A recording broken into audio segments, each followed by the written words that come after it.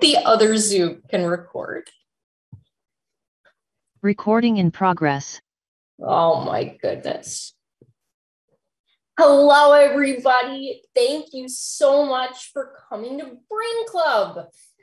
And happy Giving Tuesday to you all. Um, I actually don't know everybody, which is pretty cool. I'm Mel Houser. I use she, they pronouns, and I am executive director here at All Brains Belong Vermont. And let me share screen and I will orient us to Brain Club. I have never done Brain Club with two screens before, and I am super disoriented to the motor plan. All right, here we go. Oh, this is so much easier with a big screen. Okay. So today we're going to talk about building the world we want to see. We titled it something else originally, and then it just didn't feel quite right to my nervous system. So we we reframed. We're always reframing. Um, because that's what we do here.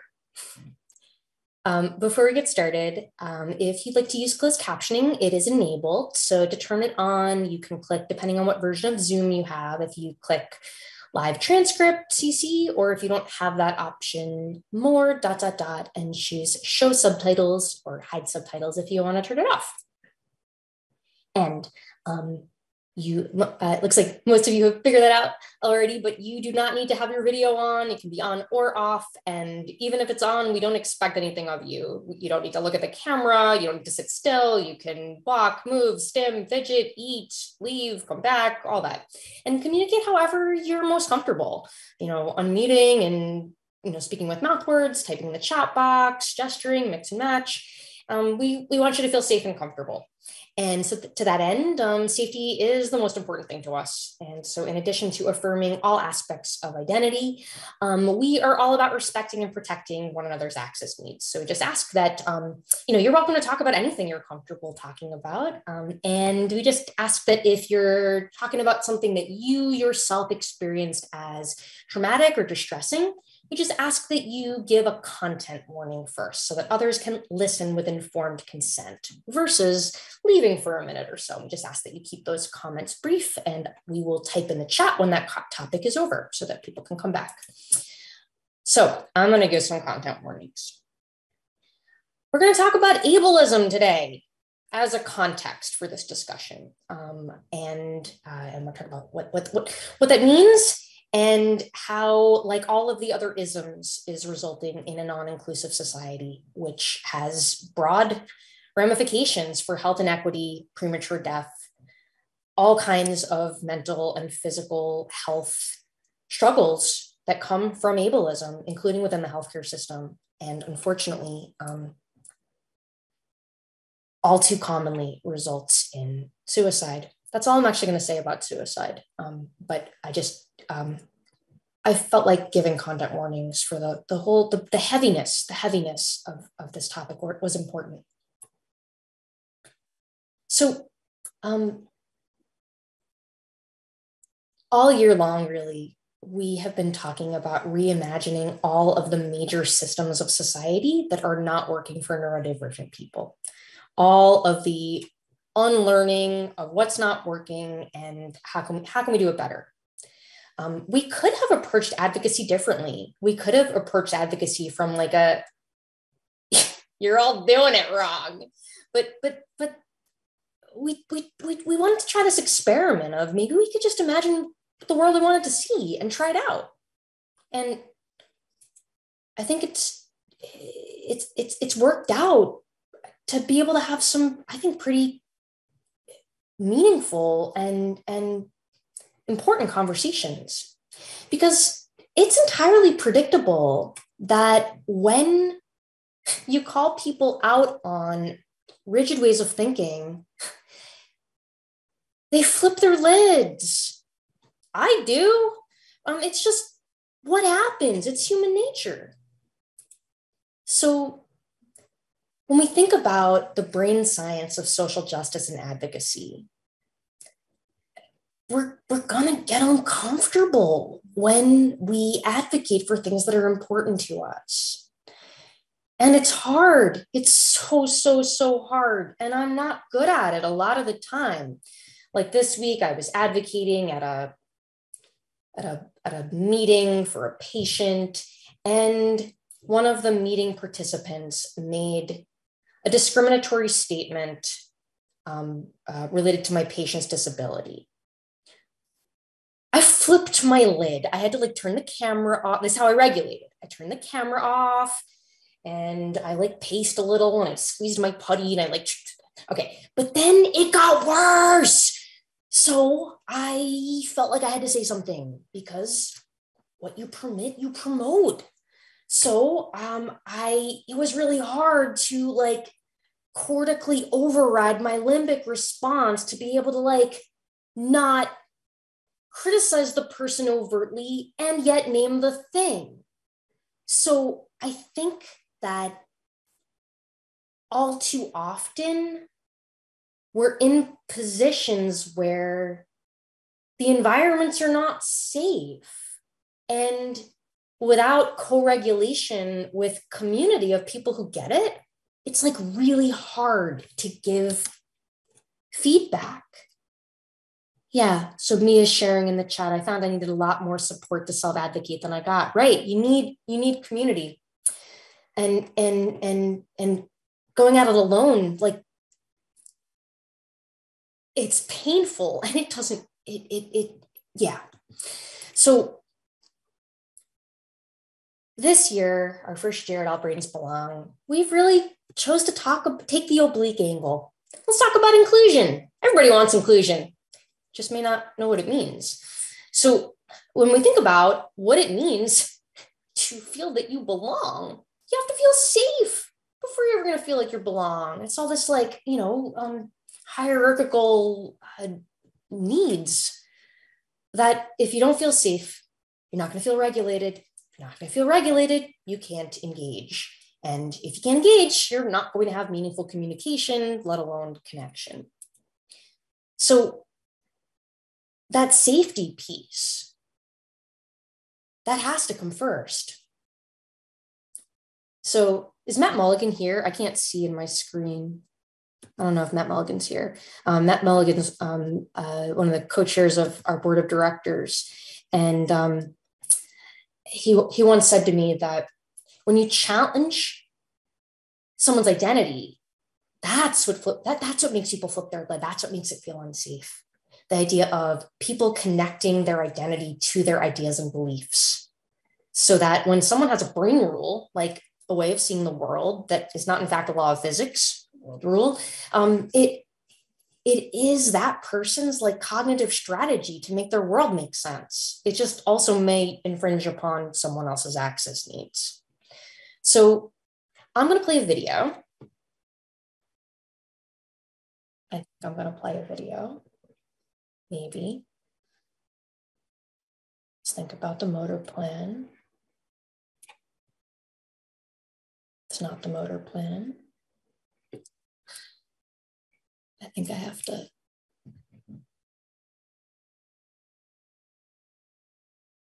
Hold on, I gotta stop share and reshare. I think that's what has to happen.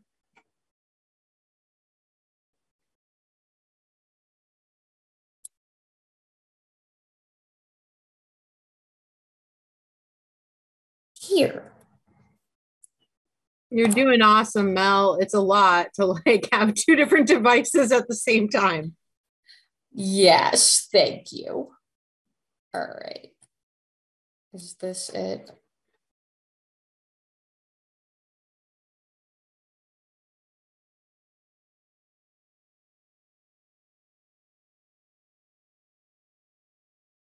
Here.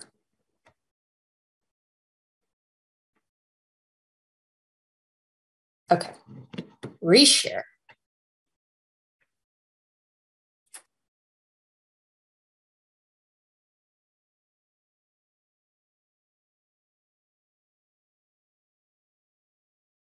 I never did the, the share sound thing. Oh,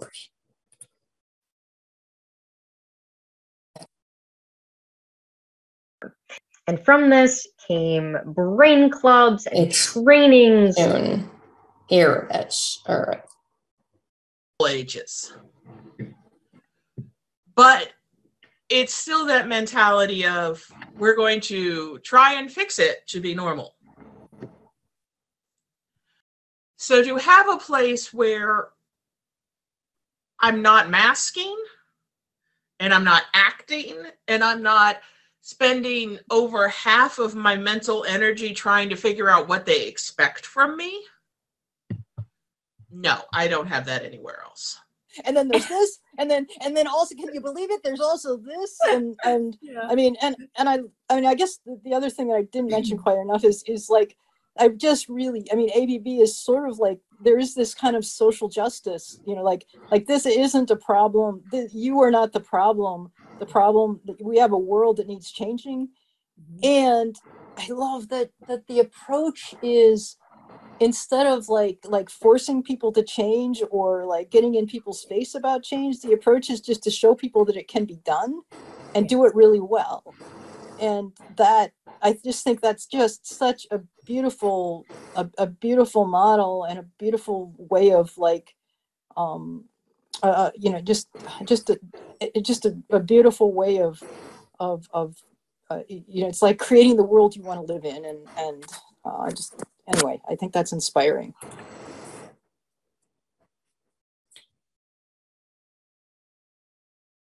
I'm reading in the chat. All right, so content warning for people challenging gender identity. Thank you for the content warning. Um, people telling, um, uh, sa- saying that people could take steps to be more comfortable, to overcome my issues with my body so I could pass through airport security, made me feel unsafe. Of course, how could it not make you feel unsafe? A terrible thing to say basically those people suggested I didn't deserve the things everyone else did until or unless I went against my identity. It's so hard. It's right. It's so people, you know, people say impossibly traumatic things. So let me just uh, um, I, I I want I want to open this up for for for input. Um, what what do y'all think about the idea of direct challenge versus the oblique angle?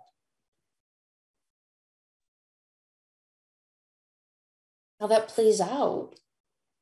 I've been, this is Sierra. I don't know if you guys can hear me. Um, I've been, I've been thinking about this a lot today. I had a few conversations today in clinic just about the idea of kind of treating neurodivergence so people can function in a broken system versus treating neurodivergence.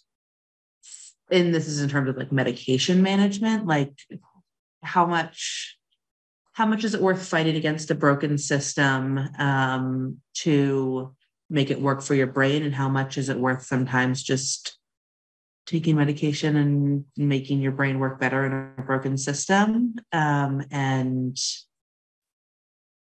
and not that those are kind of exclusive options. Um, you can do both and sometimes people need everything but um,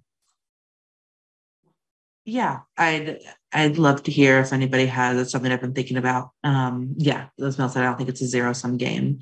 Um but just thinking about kind of working in systems that are ableist and systems that aren't made for our brains um and how do we work in those while also protecting ourselves while also protecting our mental energy while also protecting our dopamine generation? Um because we have to protect ourselves too and that's a really difficult thing to do sometimes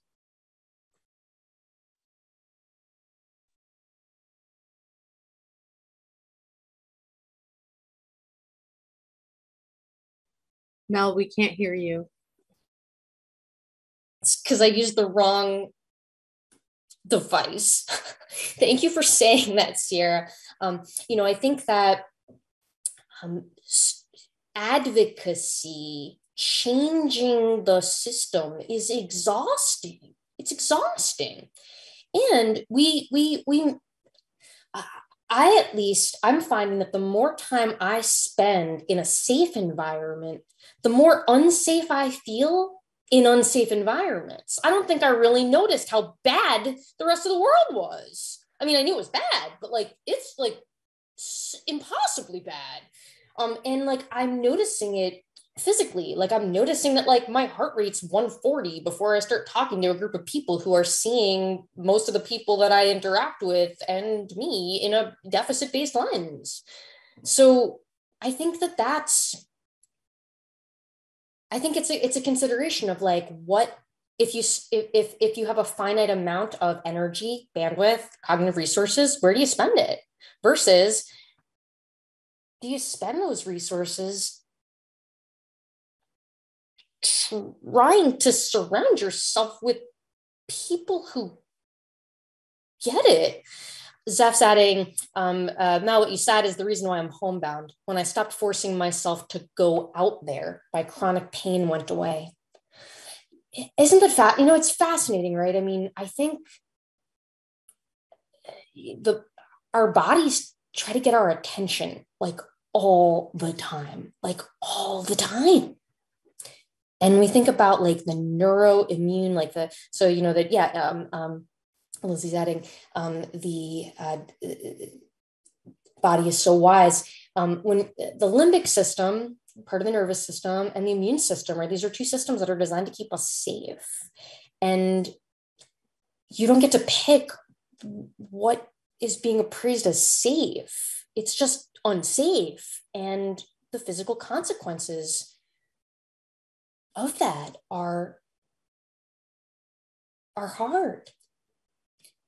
Um, uh, Mia, thanks for the content warning. I'm, I'm going to modify your statement as a reader out loud just just just a little bit, um, and, and, and to say that you're right, choices are between a rock and a hard place. That that that often there is no there is no good choice.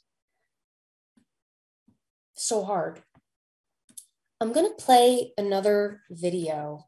Um, this comes from I guess it's it, would be more exhausting to figure out how to share this one slide than it would be just to tell you what it says.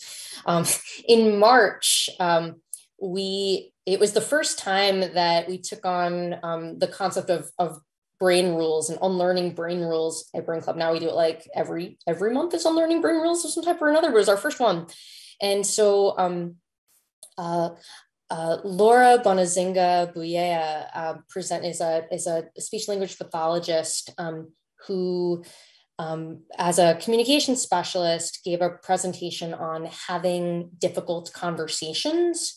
Um, and I edited it down to about a, a 15 minute clip um, where she models some ideas for um, giving feedback when the environment doesn't feel um, regulating. See how I can possibly figure that, how to play that. Let's see. Where are you?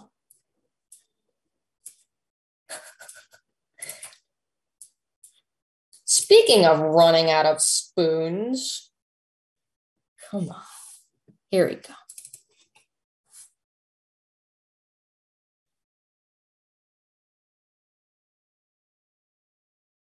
As if this actually works. Let's see.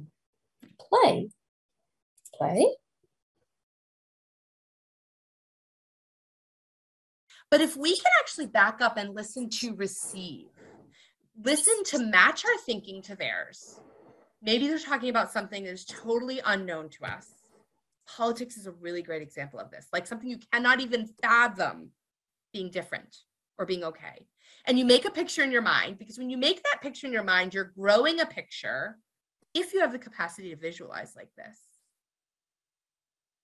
Maybe you need to draw it, write it, repeat it verbally to make this big picture. And then suddenly you realize, huh, actually, there's a piece that I know about. And you might restate or add something. You might validate what they're saying. If you bounce information back to somebody and you say, it sounds like you believe, that doesn't mean that you believe it. I believe it. It means that I'm validating what you're experiencing. And it allows me to slow down and gather information. Excuse me, I'm going to skip to the next one so that I can be an active participant and listen without sharing right away. I will provide this for you so that if you want to look back, you can, because I realize I've just skimmed over that point. I like to actively listen by mirroring, by bouncing it back in my own words. Then I like to ask open and probing questions like, did I get that right? You, it sounds like you believe that taxes, if they were higher, would lead to less potholes in the road. Well, if I'm getting that right, I kind of like that idea. Or sometimes someone says something, you bounce it back and they say, that's not what I meant.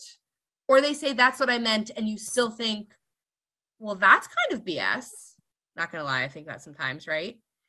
And then you say something and you hurt their feelings, and you can tell by their nonverbals that this exchange is going down the toilet, and you still want to be connected with them because it's just this one point that you don't agree about. And you might have to say something like, That wasn't my intention. Can I try that again? Or that was my feelings talking.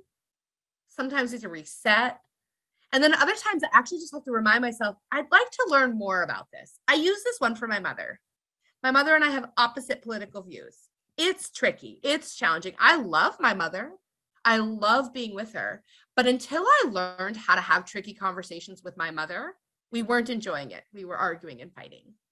And so I had to balance my listening with sharing and balancing the moment that I'm listening to add versus I'm listening to gain information. And it does require that I do some really deep breaths and I squeeze my hands together and I do a chair push up while she's sharing that political view that I'm like, oh my gosh, oh my gosh, here she goes. And then I say, I prefer to think about it this way. I feel most comfortable when you share your opinion and you don't forward me an article or a meme. So we need to actively listen and engage in conversation to have these hard conversations. They might be transactional in, in nature. I'm listening to give you information, you're giving me information. Other conversations are to persuade and influence. We're all hanging out on a Friday night. Actually, I don't do that that much anymore. Maybe this is with my family, and my mom brings up something, and I'm in there and I'm going to influence her because you know what my mother does to learn a little bit about ableist language. My goodness. And I'm here because I do think there's change that can happen in the world. So if I actively listen and I continue to connect with her and I temper my emotional response, I might be able to persuade and influence her we might even be able to get into one of those co creating conversations where we transform and shape reality. Where suddenly my mother is like, oh, I understand ableism now.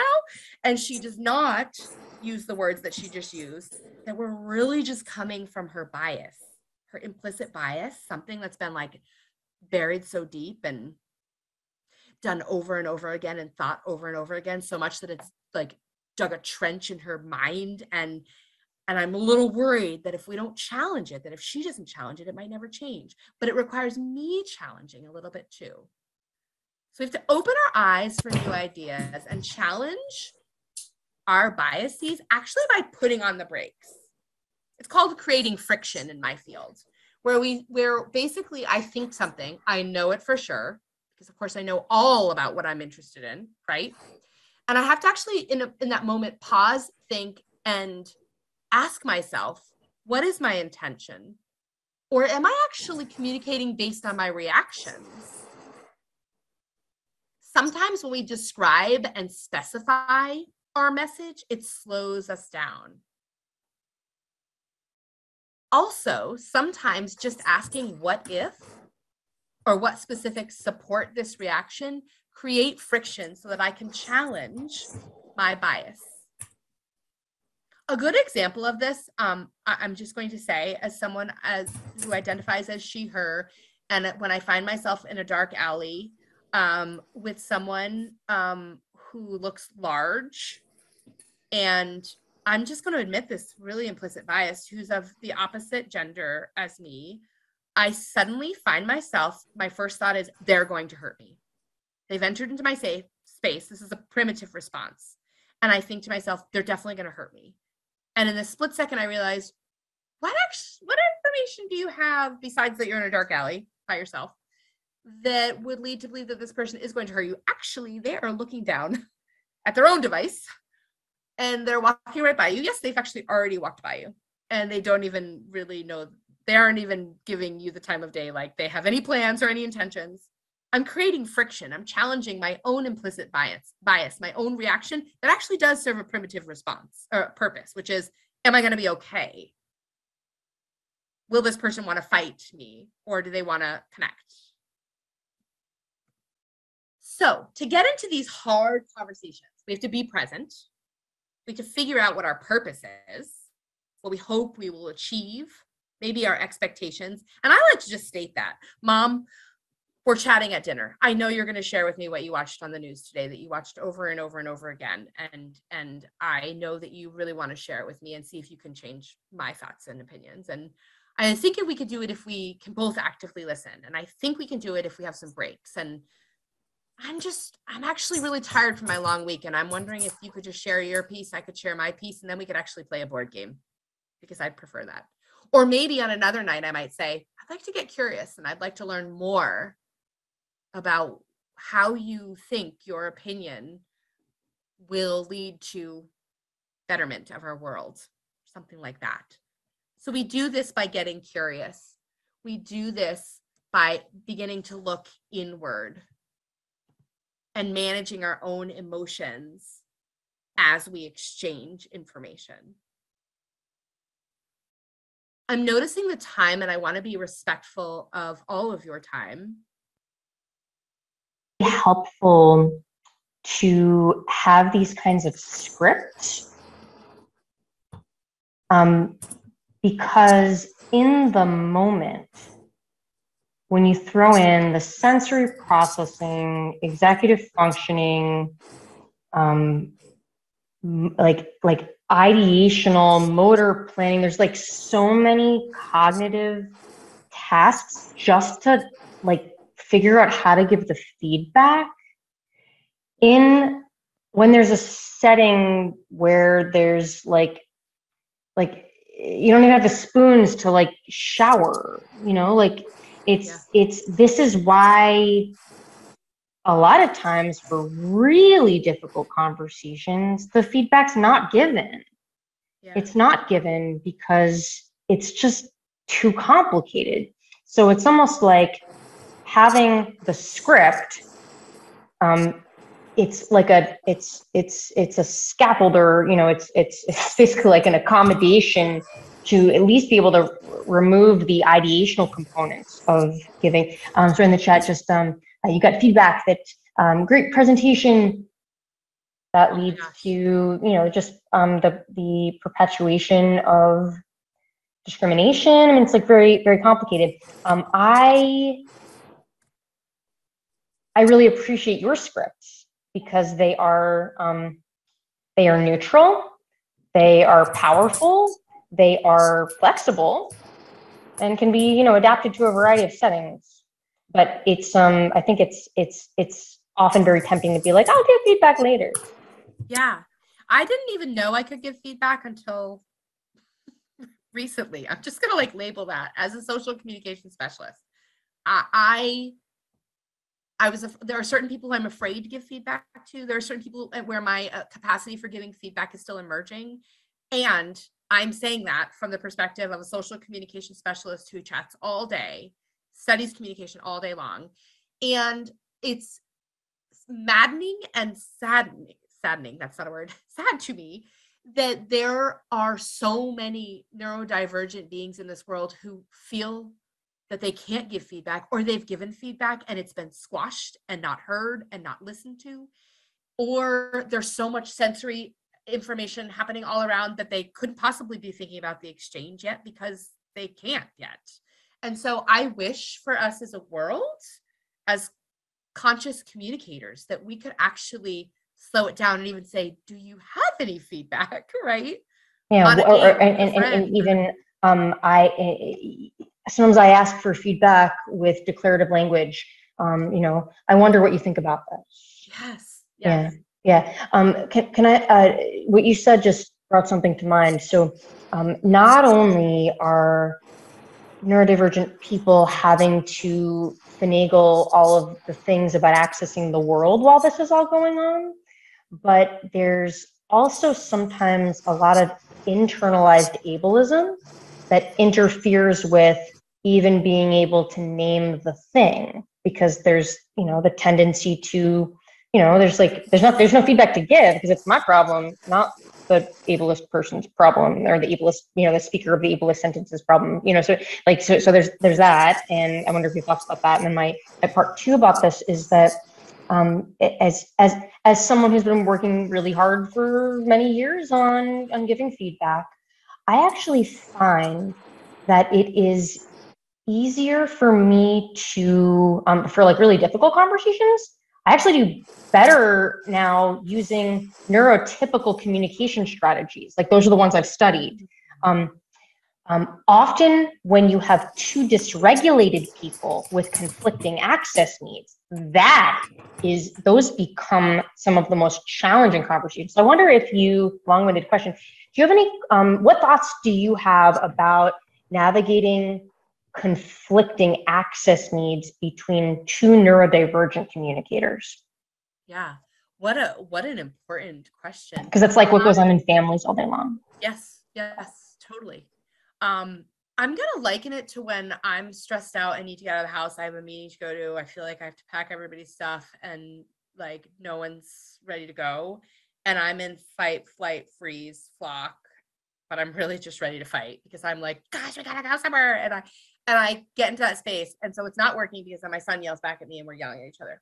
So it won't work, won't work. I love to come from a place of how can we be more effective and priming myself in that situation, priming my son. I'm going to share with you the three things that we have to do before you leave.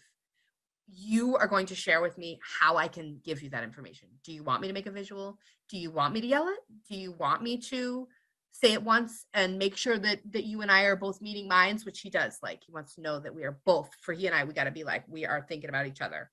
And so I would think for both individuals to be able to work on what's effective and what isn't and identify, oh, verbal. Oh, great. No, for me, nonverbal is more effective. Oh, wait a minute. Text is an option. And so you're literally identifying the ground rules first. How will we communicate? And maybe this is for any time a hard com- conversation comes up. And, and then you can develop some scripts. Now we don't want to honestly drown people in strips and scripts because that's overwhelming. However we all find little things little sentence starter scripts that we like and we glom onto them. And so i also would expectations ahead of time. Are we trying to create change? Is this purely transactional in the morning where if you only give information and get information if you are if it's something to do for the day or are we going to have a co-creating conversation where we're trying to create change and i really want my opinion to be heard? Person a does person b does. And so both of you then ooh that's going to be super fiery. What what do you have in place for co-regulating?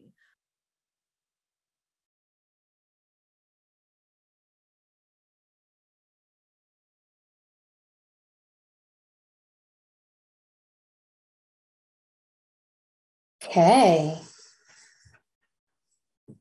So what what what did y'all think of that in the chat box or just unmute and shout it out? I, I thought that was really great.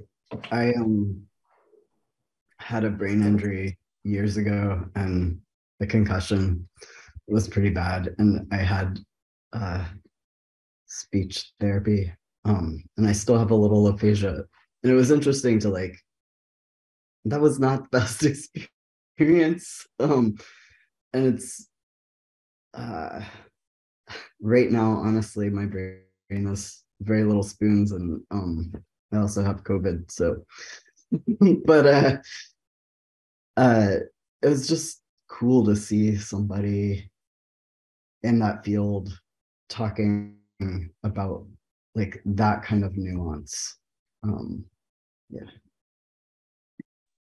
Yeah, and I think that um, you know, like anytime. I mean, I mean, what I can say is that in in in my medical practice, like most people I meet are coming from a place of having really traumatic, really like unhelpful at best like but but worse than unhelpful like traumatic harmful healthcare interactions like that's that's what goes on and i think there's um, i think it's the system. It's not the necessarily the individuals within the system but like the defaults of the system that like you got to do the thing and you do the thing like and just like you know so it's, it's broken system.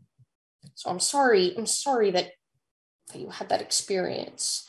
Um, and i think it's about like energetically you can kind of you know for for for for for you know i have a kind of nervous system that like i can detect detect like the like the really subtle vibe that a human is like thrown off there and that that relates to my safety. Um and so yeah. Um and jose is adding i hear you river. Thanks for sharing the subtleties raised or profound. Right. It's like a subtle just like and i think it, it even begins with the way that, that someone views the world is ultimately going to determine like not only what they say what they like explicitly communicate but like that vibe thing i think starts from how they see the world.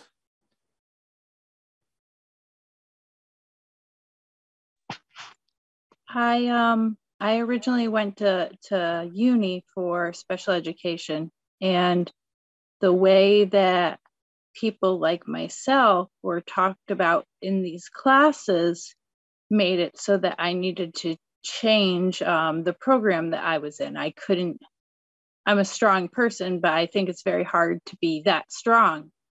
And that's when I really realized how deep this went and how teachers who are extremely well meaning and wouldn't get into that profession unless they really wanted to do things right weren't getting the information and tools that they needed to actually support the way that people like me needed them to support me back then and people like me need support now Oh, how beautifully said. Thank you, Kelly. You know, I think it's also it's like the the the the system. Like so if the I don't know, I'm just imagining just you know, if there's two people talking at a time, like I flip my lid, it just feels like it's just too much. Like I can't even imagine what it feels like to like be in a classroom of 30 dysregulated kids. So you have like, you know, energy clashes, like conflicting access needs all day long. But I think the difference is like, and this is why I think that ev- like everyone being aware of their access needs is really important. Like, hey, Sarah, can I tell the story of the pink pen? You know, I want to. Yeah, I was waiting for it. Mm, it's time. It's, It's time for the story of the pink pen. Yeah. So I went to it, the meeting that I uh, superficially referenced shortly ago was a, a, a- a school meeting. Um, and uh, a, a participant in the meeting says that they didn't like my patient's pink pen because they grade papers in red pen and they have to change their pen in the middle of grading. So, what I said was that sounds like conflicting access needs. My patient needs the pink pen because of her vision related disability.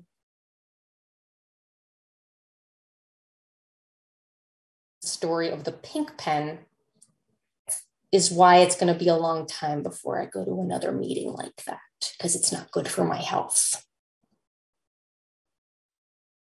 It's culture. I feel like that's an interesting example because it's really easy to say, you know, that person was just, yeah, culture, norm, normal culture.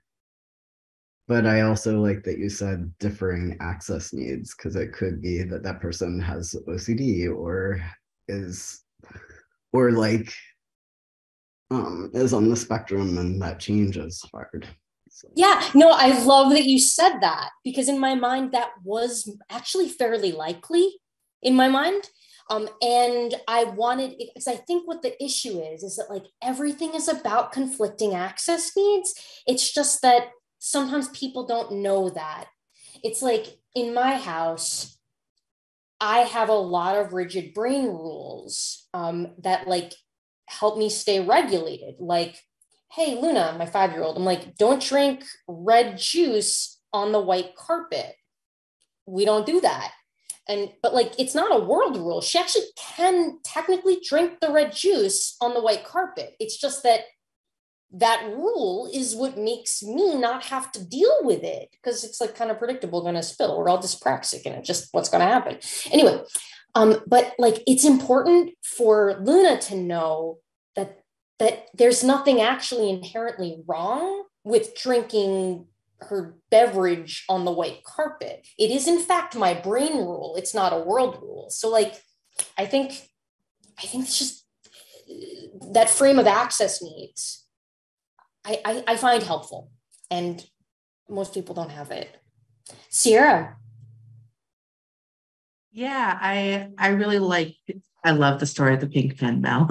um, and I also think that I think that the example of the red juice on the white carpet is really helpful. I think um I think similar to like talking to kids about like this is what the world's going to expect from you and you don't have to do it if you don't want to but this is the expectation that people are going to have of you um naming those brain rules um yeah naming those brain rules and naming that they are brain rules and for some people they're brain rules for good reason. Right. um, you, yeah you don't have to give up your brain rules if they're serving you. Right right.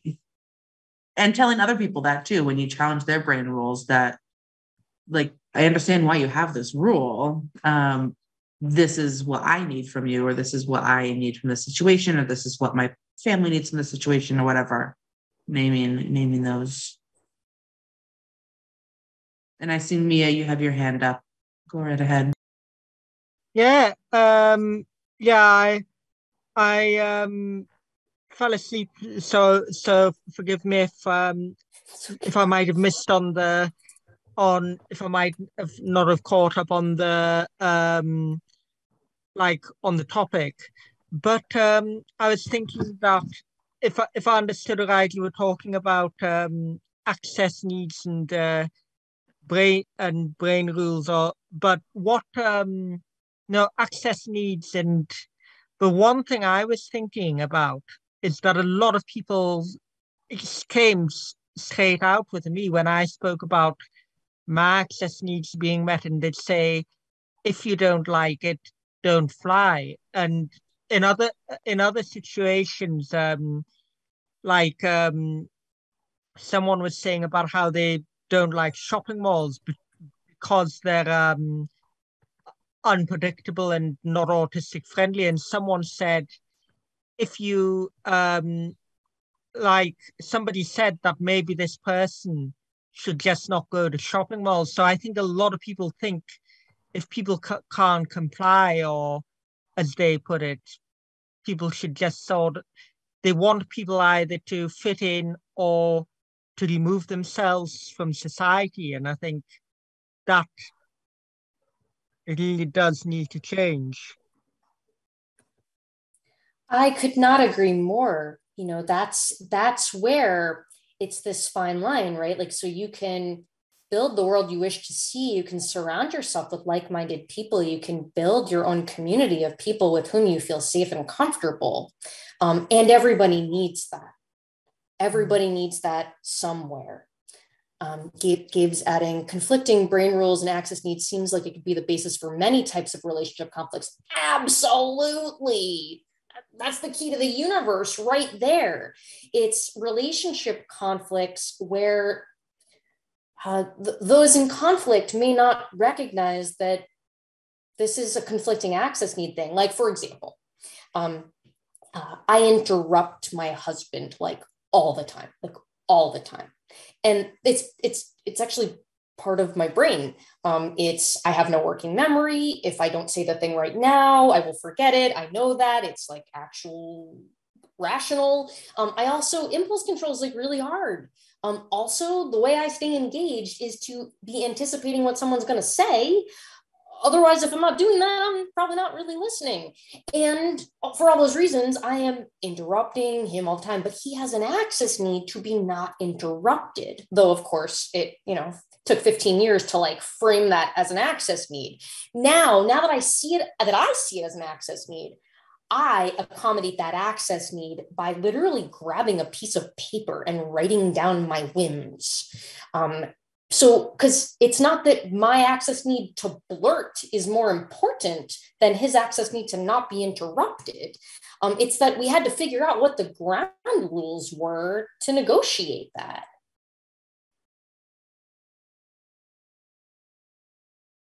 Gabe says that's relatable. Yeah.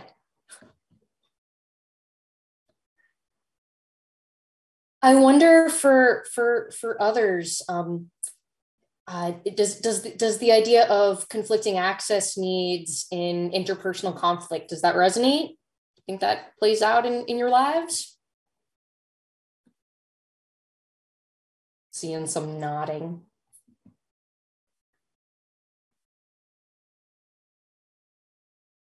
Sure. Sorry. Camera. There you go, River. go for it. You know, it's one of those nights where I can't figure out how to unmute myself sometimes. Um I yeah, I'm curious if I know that this is my first time coming to the Brain Club, and I'm curious I know that you did one that was around employment or something like that last week or last club. I, I, I lost like the key word of, of, of, of the question. So, so the, what was the topic? Was it around employment or something? Yeah, yeah, that was last week. You're totally right. Yeah. Yeah, I, I'm curious if you talked about this at all because for me, the thing that's been like I could totally relate to what you're saying about like in your marriage. I have that situation going on in opposite. Um but what I couldn't figure out was in my job, like my supervisor I was like, I don't this isn't a place where I can ask you if you are attached to me doing things a certain way because you have certain needs but i'm telling you that i have a disability but like there are all these i don't know. Like i didn't explain what my disability i mean some i did with like the but i needed to i was like why it's product? Like we need to create something. That's what matters not how, how i get to it. Like do I need to get to it the way that you need me to, and why do you need me to? But I couldn't have that conversation about what her needs were, and um, for that and other reasons, I lost my job. but um, yeah, I'm curious how like how does one uh, navigate things when you're in more of a hierarchy situation? What a what a, what a, what an amazing question. Um, I when I begin to answer that, I am going to monologue for like a long time. So, and I'm going to answer your question. I have a lot to say about it. Um, so, first, uh, Judith had Judith's hand up, and then Sarah had their hand up. Um, so, so um, Judith, are you still around? Uh, yeah. Sorry, I couldn't figure out how to unmute either. well, you know, it's interesting. My daughter the other day said, and essentially, I'm going to use these words. She didn't use them. Like, she feels like she has an access need to me not having any grounding rights if she breaks rules if i cannot influence if if she does it's like she like i will give her a time count and she's frequently late and ignores if she doesn't like an activity or she doesn't want to do it she's to make it real hard to go there and, um, you know, if I said to her, we're to go for pizza, she would jump and be ready. But if it's something that we've agreed to do and then she's just going to drag and drag. And so what happened, I that happened Saturday night, it happened Sunday night, and we had a talk, and it wasn't like I wasn't ups- like I was upset, but I didn't ground her or anything. There was no consequence. We just had a good understanding. And then on Monday, one more thing happened. I said, Well, you don't get to talk with your partner tonight. And she said she wanted me not to have any power in her relationship. And she's a minor or she could not enjoy the relationship and she, her mind will drive her crazy.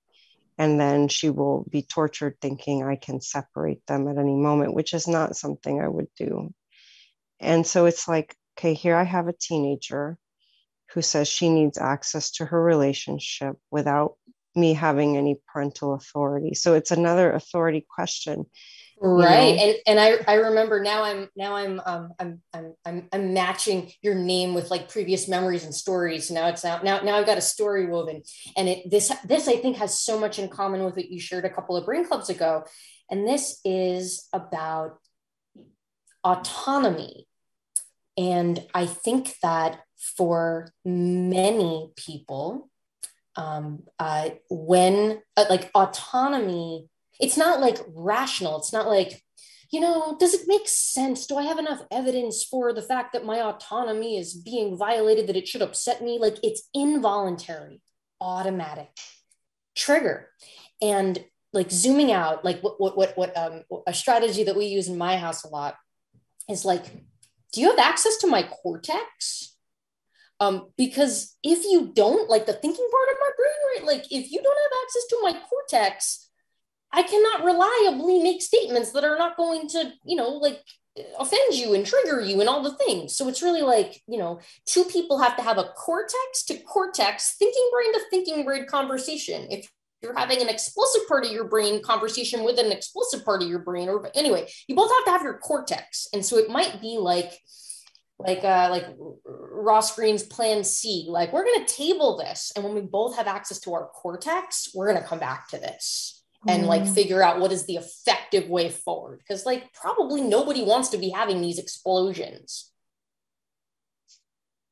sarah go for it and then i'm going to talk about employment conflicting access needs just yeah i mean um one of the things i i mean i just i love the conversation and one of the things that i find really helpful is thinking about what it's if i'm if i'm trying to get away from the thing i don't want it's a very different experience than if i'm trying to to participate in the thing i do want. And and and the conversations that that i have with people like when i'm when i'm like have when like somebody's doing something i don't partic- or or stating a view of the world that I don't want to live in, it's particular. It's it's not. Um, it, it's probably really helpful for me to have a viewpoint before I get into that conversation of the world that I do want to live in and and also to to try to make the conversation not about what we both don't want more about what we both do want and and so those are those are just things um like just Sarah was sort of talking about early on about the the medication, um, like the the medication issue of how to cope with a, um, you know, how to cope with with a world that's like basically insensitive and crappy, and um, and and and I and I and and just and and I think that's like like light years beyond how people mostly think about it. And for me, I I I think I I like what I would like, like I would consider taking medication not necessarily to cope with a world that's insensitive and crappy because I that just doesn't inspire me. But I would consider taking medication to actually have the energy in a world that's insensitive and crappy to, to create the to, to, to create the, the the the community or the relationships or the the the imaginings that I actually do want to be a part of world the world and think would be a good thing to have as part of the world. So anyway, that's my anyway for whatever that's worth. Thanks. I love so much of what you said. So much. So I so Carolyn's agreeing. Sarah, you are so on point as always.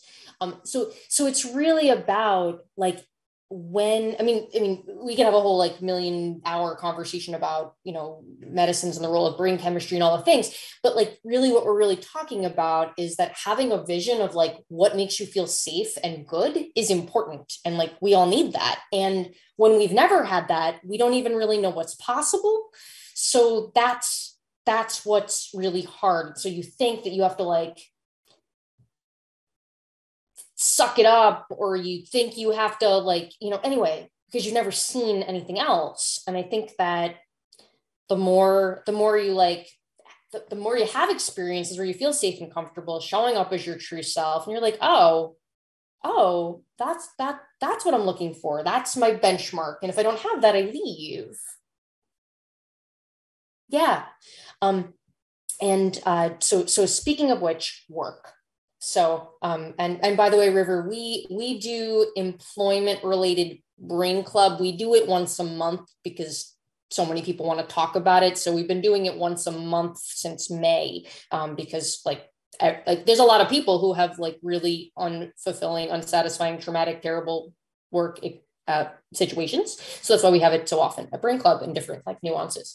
But um, essentially, the conflicting access need thing at work is it requires that both parties, even in a hierarchical dynamic, um, both parties have awareness that they have access needs. Like, like when that's not true, when one person's access needs becomes like policy, um, and they're not aware that it's like just the way they happen to do it, um, the person whose nervous system's like that's arbitrary. So it's like an arbitrary thing and it violates my access needs like so so and that's what goes on. That's what goes on. So like it and it doesn't it it it, it really i don't think there is a way out other than self-awareness of access needs. That's why that's i mean um, at, All Belong, we have a community advisory council that basically informs all of our programs. And um, at, at, a, at this spring, when I, I asked the community advisory council, how will we know that our community is more neuro inclusive? And like one of the, or the most common theme of what people responded was that people would be talking about access needs. So I really, I try to talk about access needs with literally everybody that I interact with all day because I think it's the key to the universe. Everybody has them, whether you have a disability or not. It's just that the, the, the, greater the gap between how your brain needs a thing to to be done and how the default of society is delivered, you're going to have more disability. Um, yeah. Yeah, I was going to say with access needs, uh, I guess it often feels like those in position of power almost don't have access. Well, what it is is that they can access anything they want often. So it's like, I suppose they don't need to have access needs if that makes sense. Because, like, if they have power, they can access whatever they want. Whereas people in positions of, um, like, whereas people with, without those positions where they don't have any power even over their own agency. Often we're at, at the mercy of those in power to get our access needs met. Yes, yes, so well said. And that's why we talk about like like like it's power, like power, like um in in in my house, um my my my we, we talk about this with my five-year-old even. I'm like, power over is gross like like you can have the power of connection you know the power of knowledge. There's like different kinds of power but almost always it's the it's the it's it's the power over other people that is i mean it, it's it's just so unsafe. River. Um i really like mel well first uh mia that made a lot of sense and I think it's very true. And I think that when, like, a when, um, sorry, I'm just gonna have a lot of pauses and forget a lot tonight. Um, uh yeah people in power not recognizing they have ac- or people in power having access that makes sense but i also and i also like resonate with like sometimes like in all the disabilities that I've gone through, like the co- the long COVID now, like being at the mercy of others, and so not always getting to speak for my own needs or speaking for them and not having them respected.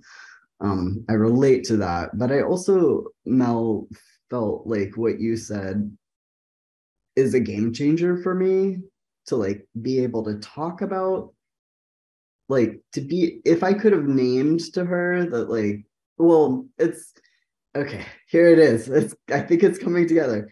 Like even if you if you don't know that you have a disability then you are in a position of power. You may have a disability but not know it. But that makes you think that you are normal and other people have issues and i think but i think that if i had been able to name to her like it doesn't matter if you have a disability or not we all have access needs and let's talk about what yours are and let's like try to figure out if you have them or something. Like just that that little bit of language could have changed how i communicated with her to figure something out instead of being like oh my god we both have to name our disabilities. Like, I need to know if she has one. She might not know. right? Like, if I could have said, you might not have disabilities, but we all have access needs, like, that could have leveled that. Um, and I just, I also want to apologize. Like, I, I know that I'm, because I'm male presenting, I think a lot about how much space I take up in groups. And I feel like I'm taking up a lot of visual and verbal space, but I also I can't type, I can't join the chat, and I may not be able to even raise my hand to like hold on to my thoughts right now. So I I just kind of have to say things. so thanks. I am so glad you're here, and I think that the more I appreciate your um your your your uh yeah i don't i lost that thought too. Um so but but anyway i think the, the the more that you hang out at brain club i think you i mean really we are and and lizzie brought this up in the chat like we are trying to create a space that we we we figure out how to negotiate conflicting access needs. Like i have the kind of brain that has literally no perception of time. I have no idea how much time has been passing while i'm talking.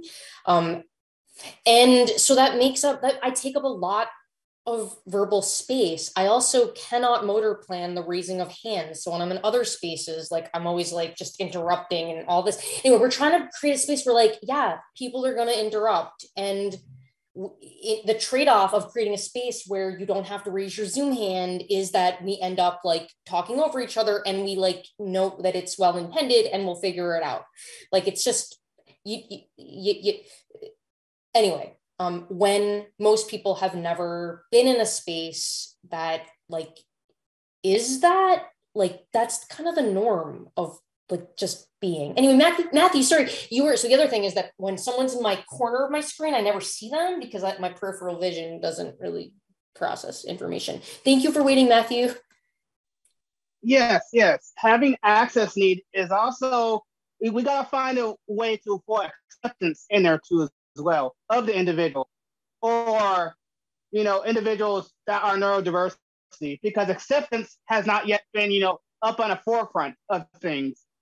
We accept the individual with access needs but how about the need in general of what we say?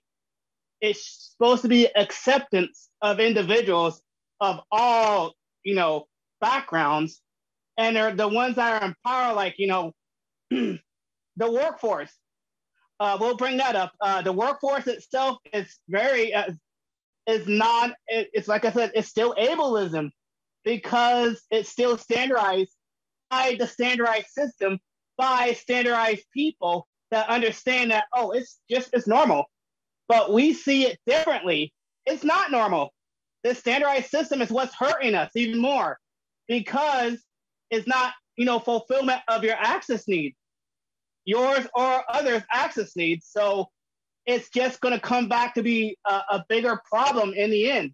And we got to try to, you know, advocate, not only advocate, but also uh, step up on ways to look outside of box, like you said, back up and zoom out, but also look outside of the of the box and try to, you know, realize that this is a thing, but a thing that we can actually work on together. Thank you. So well said. And um, and Kelly, go for it. Thank you. Um, so I was wondering if anyone had any advice on how to maintain momentum when you are advocating and when you are trying to create a better world. I um I've had some wonderful things happen. I, I got to present about neurodiversity to English language teachers throughout the Northeast. My school is considering doing a neurodiversities course and letting me, um, you know, help design it and teach it. But then every single day, I hear things, or every single day, people say things in my life in my situation as being also a, stu- a graduate student, my situation of my work. I also, and I mean, the people I work with are very well meaning, but my job is not um, working with people like me, like us, but I'm in the same building. So I'm around it and I hear things and I feel things and I I want to do everything I can, but it's so tiring sometimes, and I almost have no energy left. And you do so much, so many of you do so much. And I just was wondering if maybe you had some advice on how to replenish yourself and how to keep hopeful when good things happen, but there's so many little tiny things that are really big things all day long, every day. I just adore you like seriously that was that is what goes on. So like the thing is i mean i can only speak for myself is that all the little things they impact my health. They make me less able to do the thing like where the thing is build a new world. And so i can only speak for myself that's why I had to quit my job. So it's really about you have a finite amount of bandwidth and advocacy is important and you're going to spend your spoons in environments like so um, you know i think that the the you know the oblique angle so you know you're an educator you have this like really nuanced information that is like cutting edge and new. It's not new it's been the same nervous system since the dawn of time you know but like so so maybe you like reinvent what your advocacy looks like you know? Um the system the system loves consultants the system you know like the you know you use the, the you use the defaults of the system while protecting your health. And you find a way to like you know the revenue streams of the system that that support not the system like not the system. Um, and Aaron's adding, I feel you about the drain. One thing I try to remember to do is to celebrate the little victories in advocacy, like really in my body, yeah, I'll go to a back room with a friend I trust and I'll do a little joyful dance. Yeah. Yeah.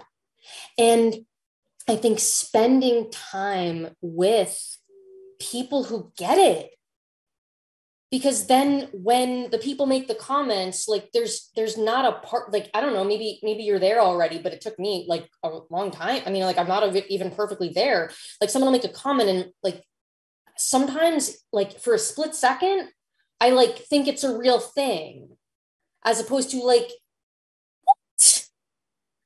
It's the pink pen, you know, like just so that that that that like reality checking of like this happened and and and you know like uh, and there's there's there's there's a there's a whole bunch of people in the ABB village who regularly do that like you know you know I just got to name the thing this happened and then like the the community rallies. And it's like no that's gross. That's ridiculous. And that that I think that helps. Because the self-doubt like those over-rehearsed neural pathways from childhood that like you were you know you, you default to um you know when you're dysregulated they're they're they're really hard to break. And so co-regulating you know with with with community who's like no sierra